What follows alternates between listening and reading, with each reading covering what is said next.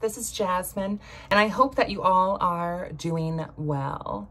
Today, I wanted to make our formal announcement for 2021 that we are going to be bringing back the Lunar Astrology Magic and the Moon workshop. This is a highly sought after workshop and something that I have gotten a few questions about when it's going to be uh, back and available. Um, so we are going to be having our workshop Wednesday, February 17th of 2021 at 7 p.m. This is going to be a two-part workshop, like I said. So if you are interested in taking this live, either in person at the store at Spiritual Gardens, or you can also take it online live on those days in our online classroom. I am going to be recording the full lecture as well as providing the class documents, and that will be available over on my Patreon. So if you would like to maybe do this workshop self-taught, you can also access this workshop and other classes over on Patreon. I'd like to talk a little bit about the significance behind the moon. I think that this is one of the first things that a lot of us start really getting into when it comes to um, the occult, paganism, witchcraft, and really understanding the moon, as so many of us feel a sacred connection to the moon and the cycles and rhythms that the moon bears, the influence that the moon has over our planetary realm as well as our internal worlds as we attune ourselves to the cycles and seasons that are connected with the moon. So in this announcement, I'm going to be going over the lesson plan, and this is for the Lunar Astrology uh, Magic in the Moon workshop. Like I said, this is a two-part workshop, so everything that we cover in this lesson plan is going to essentially be broken up into two separate workshops. So, lunar astrology prepared by yours truly.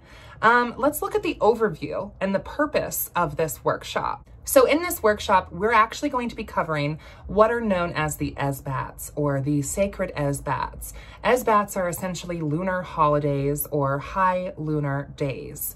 Um, you might have also heard of Sabbats. Those would be our solar holidays or our solar high days. Sabbats would be things like equinoxes, solstices, and our cross-quarter holidays on the wheel of the year. Esbats are typically broken up between each full moon. So an esbat is essentially just a really fancy way of saying a full moon covering those sacred Esbats and breaking all of them down, as well as the moon's relationship with the zodiac and the moon's phases between new moon, dark moon, waxing moon, full moon, waning moon, and understanding the moon's language when it is amplified by one of the signs of the 12 uh, zodiac of the moon and the sacred Esbats can connect you deeper to your own cycles and rhythms and strengthen your spirit as well as add an additional layer to your personal practice. When we understand the moon and how the moon can influence our craft and how we can properly cast spells and perform ceremonial or folk magic during specific phases of the moon, that is only going to lend us further power in our craft. That is only going to strengthen ourselves as witches and connect us deeper to the natural world. So on the lesson plan, I have listed some objectives, and the objectives are essentially what we are going to be hyper focusing on during the workshop. So for one, of course, we want to learn about the sacred Esbats. We want to understand what an Esbat is and why Esbats are important within the craft. Connecting with these sacred cycles and rhythms like I said, can only improve your craft. So if you're interested in the moon or you're interested in lunar astrology, this is definitely a great workshop for you. And I think, and I will talk about this a little bit more in the class itself, but one of the things that is so fascinating about um, Esbats is that they are very influenced by the culture and geographic location that observes them. So when we are going over Esbats here in North America, we are going to be taking a look at a lot of indigenous influence um, because this has to do with the culture that has named these Esbats. As a witch who lives in North America, paying homage to the land that we live on and connecting ourselves with the spirits of these lands, connecting ourselves with the, the names of these moons from the land that we live on. So if you talk to a witch in Australia or if you talk to a witch in the UK, they might have different names for their Esbats because Esbats follow the natural cycles and seasons of the earth. It was a way of telling time. So connecting ourselves further with these names is really important because they connect us with times of year that these moons arise from.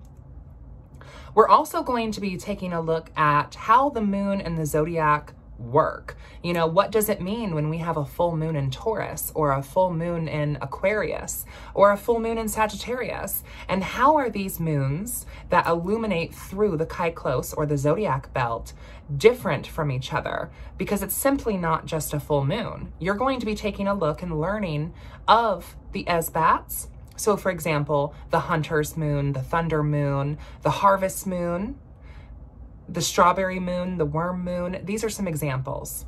So we have certain correspondence that resonates with the moon's name, but then we also are going to be taking a look at the zodiac one year we might have a pink moon in Taurus, and the next year maybe we have the pink moon in Sagittarius. These are very different moons with very different energy.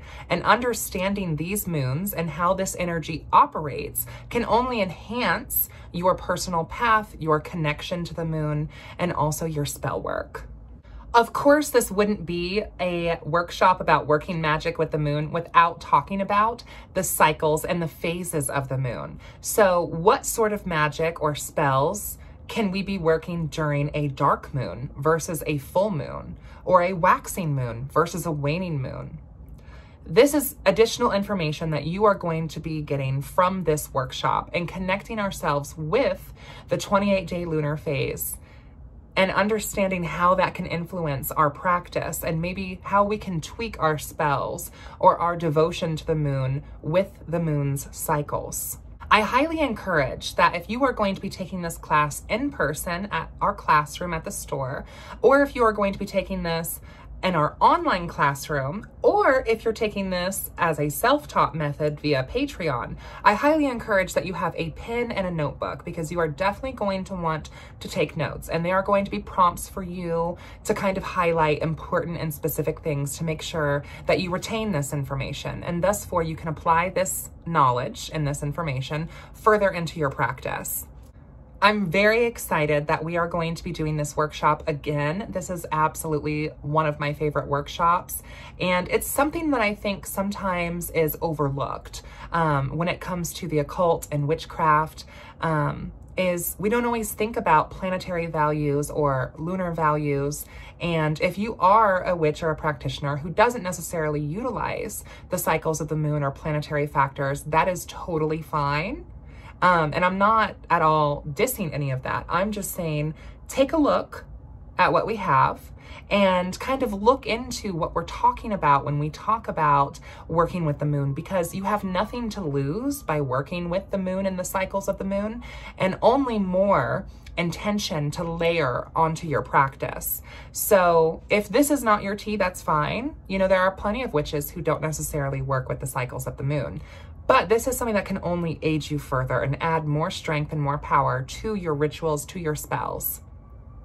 And even if you're not necessarily um, practicing magic, this can also correlate into lunar ceremonies or rituals or, um, you know, manifestation rituals. You don't necessarily have to be a witch in order to get something um, out of this workshop. So I hope all of you uh, have enjoyed this. Um, I'm super excited to bring this back into 2021. And for those of you who I will see in the classroom or online, um, can't wait. And for those of you taking this self-taught on Patreon, shoot me a message and let me know if you have any questions. Um, I will be posting the full lecture and documents later to Patreon.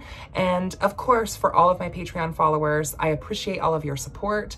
And as always, if you guys have any questions, you guys definitely take priority in my list. But but if any of you who are not on my Patreon have any questions, please leave those down below as well, and I would be happy to answer those. Until next time, blessed be.